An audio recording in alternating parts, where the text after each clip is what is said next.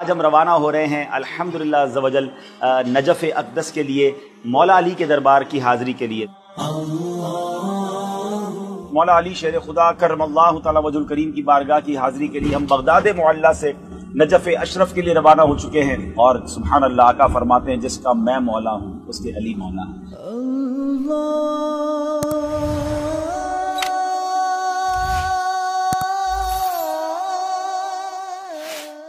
یا رب کریم یا رحم الرحمین ہم ایک ایسے مقام پر حاضر ہیں جس کے بارے میں ہمیں بتایا گیا ہے کہ تیرے پیارے خلیل حضرت ابراہیم علیہ السلام کی اس مقام پر ولادت ہوئی یا رب کریم اس نسبت کو سامنے رکھتے ہوئے تیری بارگاہ میں عرض کرتے ہیں مولا کریم ہم سب کے گناہوں کو آمین۔ ہماری بے حساب مغفرت کر دے۔ حضرت سیدنا ابراہیم خلیل اللہ علیہ نبینا وعلیہ صلاۃ السلام کہ فیضان سب کو مالا مال فرما۔ یا اللہ پاک جنہوں نے بھی دعاؤں کے لیے کہا ہے کہلوایا ہے اس مبارک مقام کا واسطہ۔ تم سب کی نیک اور جائز دعاؤں پر رحمت کی نظر فرما۔ یا اللہ۔ اس وقت اللہ کے پیارے نبی حضرت ایوب علیہ السلام کی بارگاہ میں حاضر ہیں۔ اللہ تبارک و تعالیٰ اپنے نبیوں کے صدقے میں ان مقدس ہستیوں کے صدقے میں ہم سب کی مغفرت فرما۔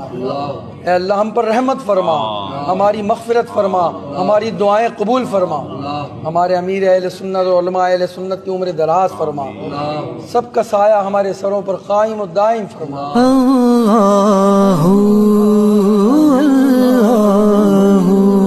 حضرت ذوالکفل علیہ الصلوۃ والسلام کی بارگاہ میں حاضری دینے جا رہے ہیں۔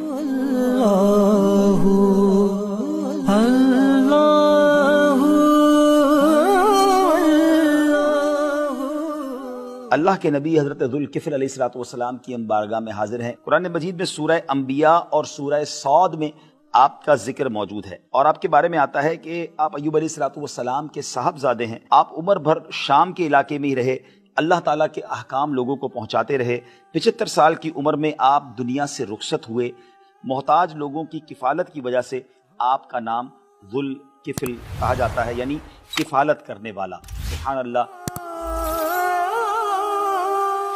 ایک ایسا مقام بھی یہاں پر ہے جہاں حضرت ذوالکفل علیہ السلاۃ والسلام کے صحابہ یعنی ان کے ساتھ جو ان پر ایمان لانے والے لوگ تھے، ان کے ان کے بھی مزارات ہیں۔ اور پھر ایک مقام کے بارے میں بتایا گیا کہ حضرت خضر علیہ السلاۃ والسلام کا مقام ہے۔ یا اللہ پاک تیری تیری حبیب کا واسطہ دیتے ہیں خضر علیہ السلام کی سچی محبت اور ان کی سچی توجہ کا ہمیں حصہ عطا فرما دے۔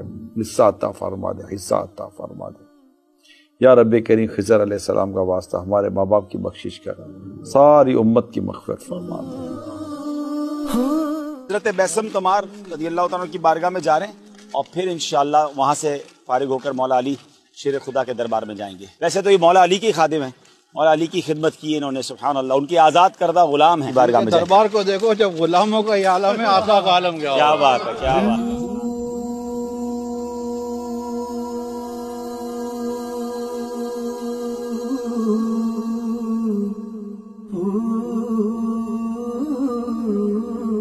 اللهم اغفر وارحم وانت خير الراحمين.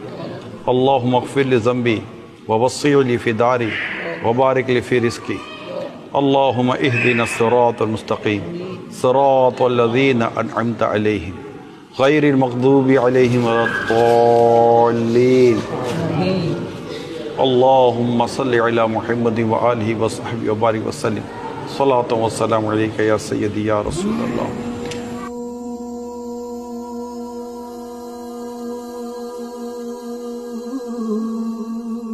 پہ چلتے ہیں مولا علی کے بارگاہ میں چلتے ہیں۔ یا علی المرتضی مولا علی مشکل کوشا جس کسی کا میں ہوں مولا اس کے مولا ہے علی۔ ہے یہ قول مصطفیٰ مولا علی مشکل کوشا علی المرتضی مولا علی مشکل کوشا آپ ہیں شیر خدا، مولا علی مشکل کوشا یا علی المرتضی، مولا علی مشکل کوشا، آپ ہیں شیر خدا خدا علی مشکل کوشا۔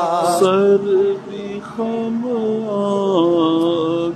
بھی نم شرم سے پانی پانی کیا کروں نظر نہیں کچھ بھی گناہ کے پاس۔